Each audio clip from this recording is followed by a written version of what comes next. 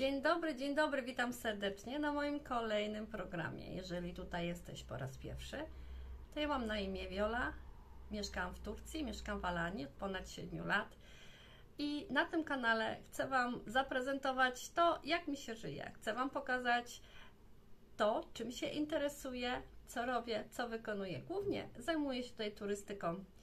Temat, który mnie bardzo fascynuje, jest to biblijna Turcja. Nie z takiego względu typowo kaznodziejskiego, ale z ujęciu historycznym.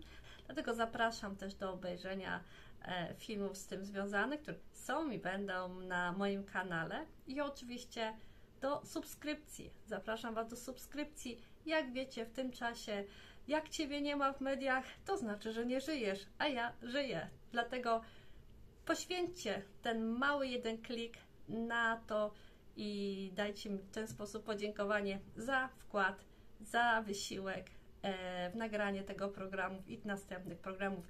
I to jest też taka zachęta, żeby mi się chciało chcieć.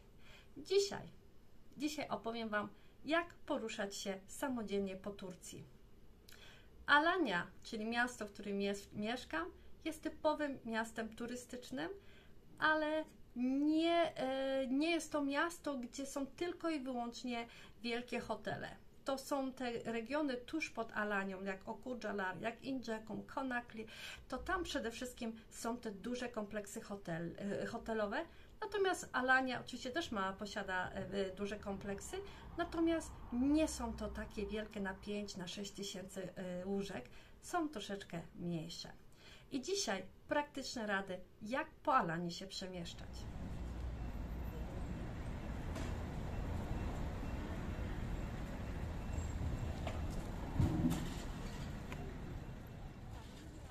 Pierwsze, korzystanie oczywiście z taksówek. Proszę zwracać zawsze uwagę, żeby był włączony licznik. Ten licznik jest zazwyczaj na wyświetlaczu lusterek i tam ile Wam wskaże, to tyle będziecie wiedzieli, że trzeba zapłacić. Czyli bez znajomości języka też doskonale się możecie poruszać.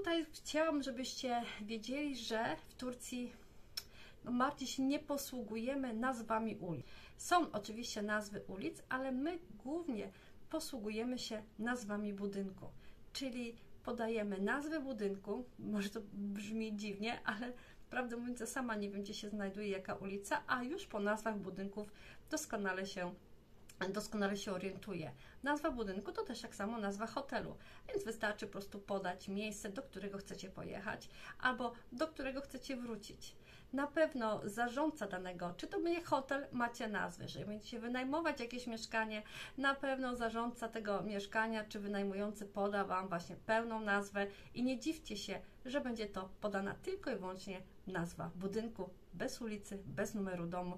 Te dane są jakby dodatkowo uzupełniające.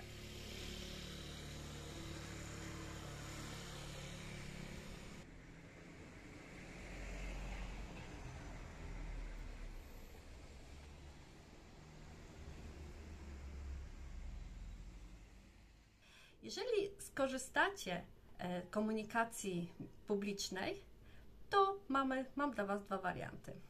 Po pierwsze jest to komunikacja miejska, typowo miejska komunikacja, czyli takie nasze autobusy miejskie oraz, oraz tak zwane dolmusze, czyli to jest jakby prywatny transport. Od razu widać po jakości tych autobusów, że są takie nie za bardzo.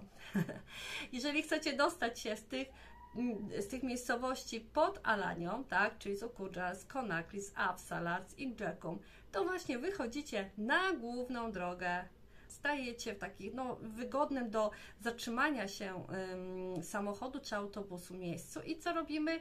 Machamy, po prostu machamy i ten pojazd się zatrzymuje. Płacicie od razu u kierowcy. Nie chcę Wam teraz powiedzieć, ile to będzie kosztowało, dlatego że to wszystko zależy od y, przewoźnika, to wszystko zależy od miejsca, z którego Was bierze, ale to myślę, że euro, półtora euro a nad z tych, no 2 euro z tych najbardziej odległych, odległych zakątków, to powinno wystarczyć, żeby dojechać nam do Alanii. A wiecie, że to też jest kilkanaście, czy nawet kilkadziesiąt kilometrów do przejechania.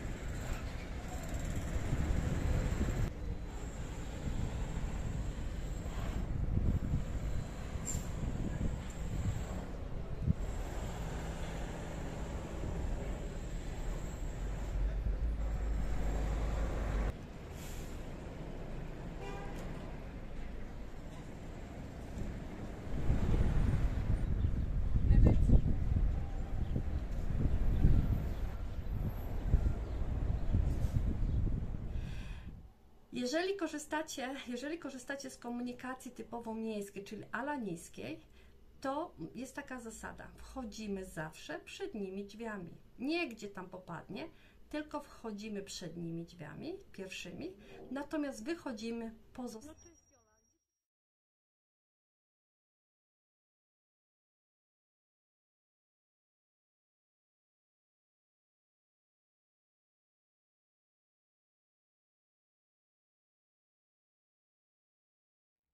Wchodzi się do autobusu, trzeba zapłacić. I teraz tak, do wyboru macie kilka form płatności. Jeżeli wybierzecie zapłatę u kierowcy, teraz to kosztuje, dzisiaj mamy 20 marca 2022, teraz dokładnie kosztuje to, otrzymacie taką kartę i jednorazowy to jest karta na dwie osoby, na dwa przejazdy, na dwa przejazdy i jeden przejazd kosztuje 9 lirów, czyli dwa to będą 18 lirów tak? Przyc- Przyciskacie oczywiście, żeby to się odbiło, dlatego tutaj są jakby naładowane te pieniądze. Dodajecie takie urządzenia do maszyny, która tam Wam ściąga te pieniądze i jest naj, najmniej opłacalna forma, tak? Drugą, dlatego że jeżeli nawet skorzystacie z, nie, nie będziecie płacić lirami, tylko zapłacicie czy euro, czy dolarami, oczywiście tutaj złotówek nikt nie przyjmuje. Proszę Państwa, Turcja, tutaj złotówek nikt nie przyjmuje no to na pewno e, ten kurs nie będzie wam, mm, Was satysfakcjonował, no bo jak tutaj z czego widać, zwłaszcza, że monety tutaj są, mają o wiele mniejszą tą wartość, zresztą tak też i na całym świecie. E, I to jest ta właśnie e, zasada. 9 tirów jeden, dla jednej osoby teraz obecnie to kosztuje.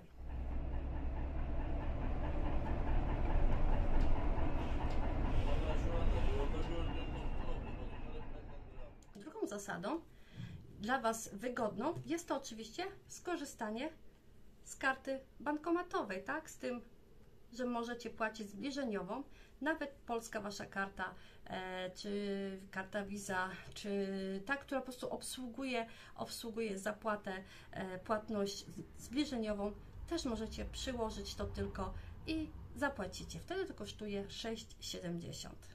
No już ładnie podoba nam się ta wersja.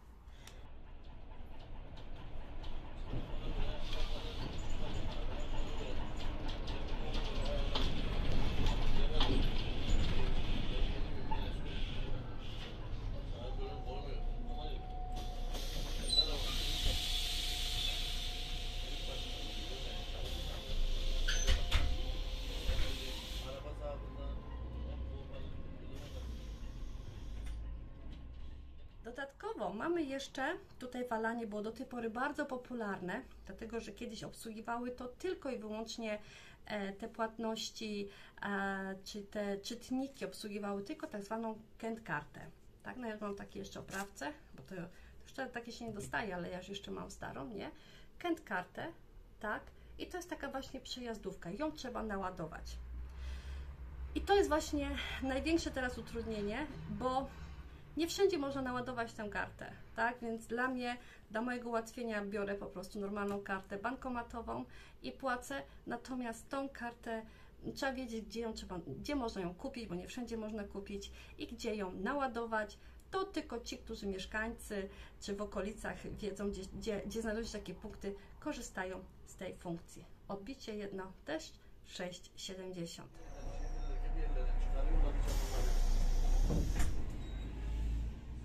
Oprócz tego w dobie cyfryzacji, w dobie telefonu, w dobie publicznego internetu czy dostępu ułatwionego jest, są jeszcze aplikacje.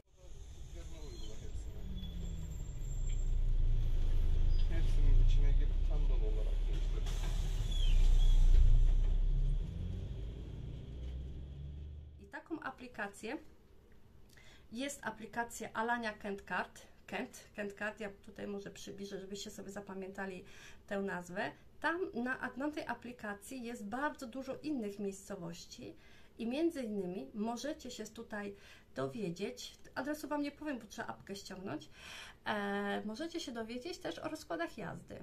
Sama zainteresowaniem zobaczyłam właśnie ile mamy linii w Alani, tylko to obsługuje tylko i wyłącznie miejską komunikację, a nie prywatną komunikację. Tutaj musimy odróżnić. Może jeżeli tam na przykład jesteście, jesteście w Alani, to głównymi tymi numerami autobusów jest 100, 101, które zazwyczaj to jest od Mahmuta do, do Dinek, czy tej, do początku Alani, gdzie znajduje się Luna Park. On obsługuje tak obrazowo mówiąc drogę wzdłuż morza nadmorską. Drugi jest to, jedzie się tak zwaną Chevrejolo, czy to jest 2202. E, I trzecia są jeszcze 3303, gdzie odbija się od tej drugiej równoległej e, drogi, jedna z najważniejszych, idzie się tak zwaną dalszą drogą Chevrejolu i tam są trójki. 3 i 303.